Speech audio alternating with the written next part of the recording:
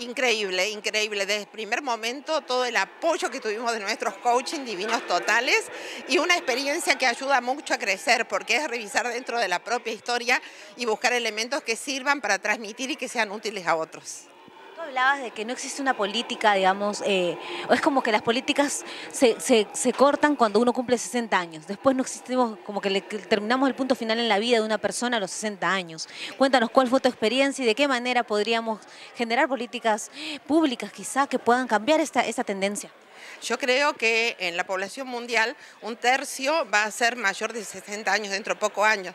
No es un número menor y necesariamente tienen que estructurarse políticas sanitarias, económicas, educativas, culturales para este montón de gente que desde que se jubila hasta que se muere transcurren como en el limbo, como si no existieran. Y es gente con muchísima potencia intelectual y física como para seguir haciendo cosas y sentirse útil actividades crees tú que podrían implementarse? Porque casualmente cuando pensamos en estas personas que decimos, bueno, necesitan solo salud, necesitan tai chi.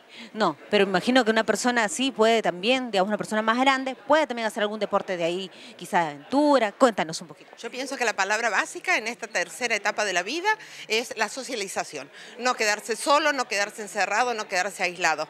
Salir a la calle, ver que hay gente como uno, dialogar, participar y sobre todo dar, porque a esta altura, si algo tenemos por ahí, no es mucha plata, pero mucha experiencia, sí, que le sirve a la gente que nos sigue. Entonces un capital de cultura que es una pena que se pierda, como decía en mi charla, que vaya a parar a la panza de los gusanos. Hay que darla, hay que socializar y sobre todo a las nuevas generaciones y no caer en esa, en esa queja tan habitual, ay, los chicos de ahora que se la pasan con el celular, nada. Tenemos muchísimo para dar y tenemos el compromiso de dar porque hemos recibido.